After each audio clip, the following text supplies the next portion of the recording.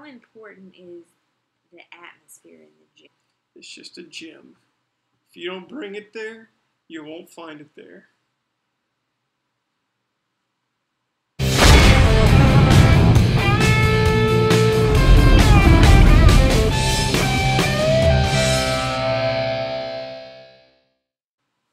Do you like sitting in traffic?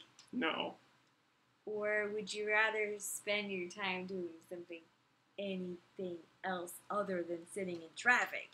When you're working out like a beast at the gym, and then you get done, man, am I hungry. Hey, it's gonna only take me 30 minutes to get home, and I live 10 miles away. Not only did we start a new gym, but we pay less for it. It is a nice gym. Very, very nice gym.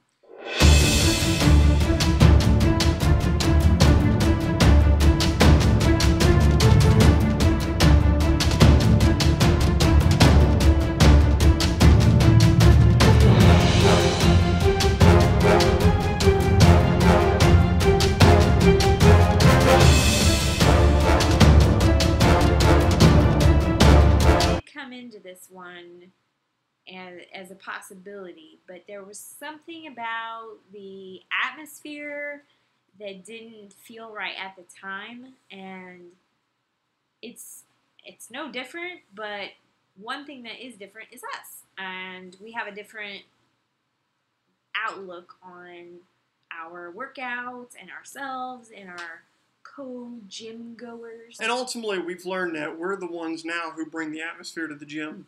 That's right. You know, if, if we want a serious workout, it's up to me. I hope that you all found this helpful. Uh, please subscribe to our page, Team Thrasher, and follow us on Instagram at Team Thrasher. And if you like us, send us a message and uh, click like and subscribe. Have a good night. See you later. Good night.